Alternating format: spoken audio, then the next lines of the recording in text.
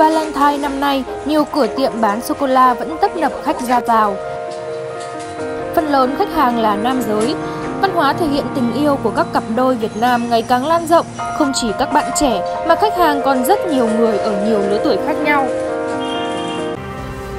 Sunshine Group, nhà kiến tạo phong cách sống thời thượng. Sô-cô-la, biểu tượng của sự ngọt ngào trong tình yêu, đi liền với hoa hồng tạo nên món quà ý nghĩa trong ngày lễ tình nhân. Anh có chuẩn bị một cái uh, bánh uh, anh chuẩn bị vào lúc đấy anh uh, mua và bó hoa dành cho bạn gái. Tôi gọi mọi người là khi mà đã yêu rồi thì cố gắng thể hiện và đừng che giấu tình cảm của mình với người mình yêu hộ các bạn trẻ thể hiện nhưng mà làm sao nó thể hiện một cách nó văn minh lịch sự và đúng mang ý nghĩa của ngày tình yêu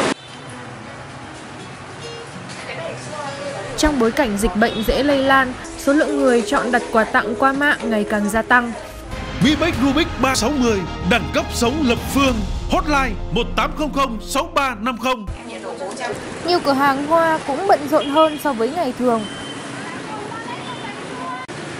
Nhiều cặp đôi sẵn sàng chi trả những bó hoa và sô-cô-la đắt giá để thể hiện tình cảm trong ngày này.